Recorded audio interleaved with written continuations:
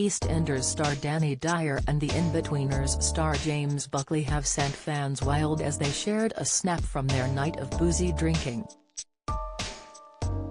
James, who played Jay in the Channel 4 comedy The Inbetweeners, shared a snap of himself cozying up to his pal Danny as the two looked worse for wear with beer bottles in hand. Fans of the acting pair have gone mad for the drunken snap, as the two pals celebrate their weekend together. James shared the boozy picture to his Instagram and with his 273,000 followers as he wrote, How's your weekend going?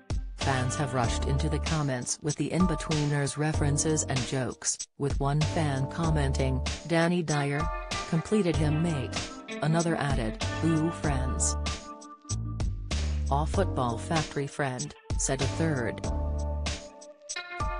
The pair are old friends, with Danny appearing James at home with the Buckleys YouTube channel and even hinting that he'd get James a job on EastEnders in 2021. When asked about the possibility of working together, Danny replied, Get you a day. I'll get you a month.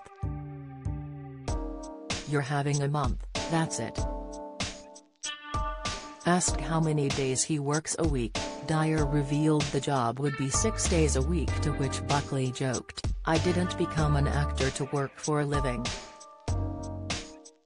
The boozy snap of Danny Dyer comes after the EastEnders actor made some shock revelations about his time in Albert Square after he left the BBC soap last year.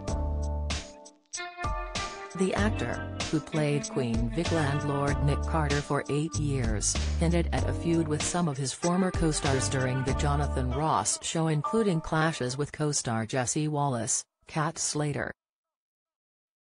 A source revealed to the Sunday Mirror, Danny and Jessie are both very strong personalities and, while they never let it get in the way of their work, they did not get on.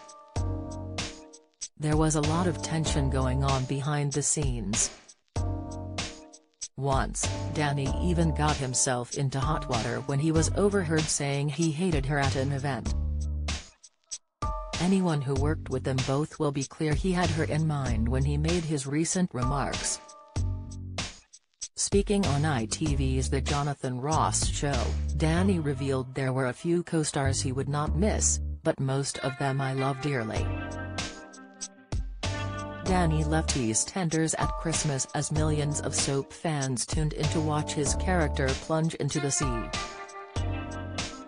However his fate has not been confirmed, and the actor admitted that he wouldn't rule out returning to Walford in the future. Speaking about his exit, he said, It's a very emotional thing, it's such a big part of me. I tell you what it is, I'm lazy. It's effing hard. 30 pages you've got to learn a day. It's like a film a week. He added, but, if it goes TS up, I can go back. I can turn up in three years' time and walk in the Queen Vic smothered in seaweed.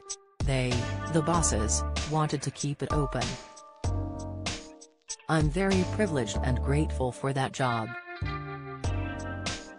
It really did change my career and my life.